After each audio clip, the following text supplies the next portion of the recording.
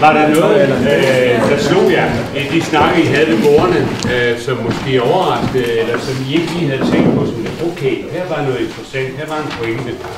Ja, ja vi blev lidenskabeligt optaget af, eller ja, altså hvorfor?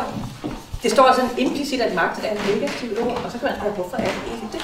Man kan jo bare anerkende, at der er asymmetri og så videre og så videre. Og selvfølgelig er der magt imellem, og det er der i relationer alle vegne, ja, i liv, alle vegne, ikke?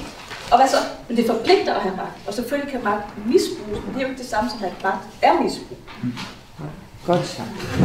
Så vil jeg godt det. Man kan godt være omsorgsfuld og samtidig have magt. Og jeg tror, jeg kom til at se det i mit bord. Jeg har i mange sammenhænge, og specielt i sociale følge, jeg har fået lidt magt.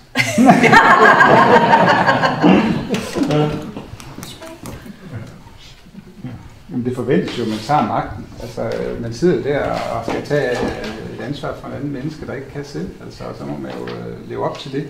Og af og til, så skal man også øh, gøre noget, som ikke lige var øh, øh, det, som patienten kom med. Jeg, jeg, jeg, altså, vi snakker om i vores gruppe, at eller min øh, arketype eksempel, det er måske en, øh, i en, en anden sammenhæng, øh, hvis smertepatient, der kommer og vil have en anden type medicin, som måske er for kraftig eller noget, morfin eller et eller andet, hvor man så siger, at det skal vi altså have løst på en lidt anden måde. Ikke? Det er jo en købmandsbutik. Altså, altså, vi kan godt have, vi kan godt have en, en, øh, en ambition på folks vegne om, at de kan få hjælp på, på lidt anden vis, end det, som de nødvendigvis lige kommer og, og udtrykker. Ikke? Øh, og det skal, vi jo, det skal vi jo tage på os det ansvar netop, og, og tage den magt. Det er omsorg.